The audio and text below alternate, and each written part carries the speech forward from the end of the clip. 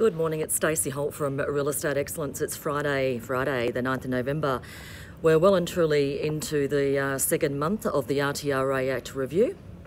And uh, this is just a reminder and a shout out relating to this, what I'm now feeling is uh, review fatigue, and I'm sure many of you are.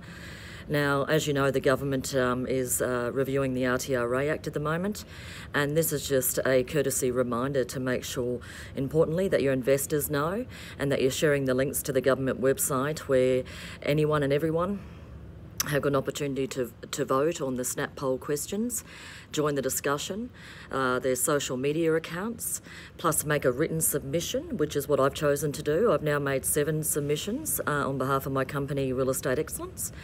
And uh, at the moment, um, theme three is based on flexibility and security.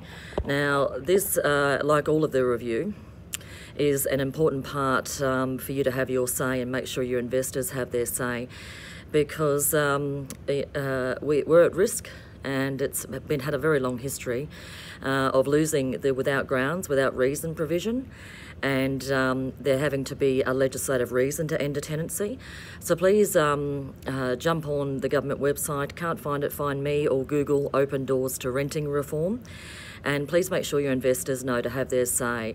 We've now got, from my quick count, 21 days uh, to have our say, and um, the laws, uh, uh as um, uh, promised by the Labor government. They want the bill to the, amend the Act to be in Parliament by 30th of June 2019. It could be earlier.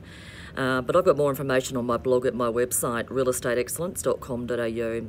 So, wishing you a great day and a reminder to have your say in the power of many, and um, particularly with the without grounds provision.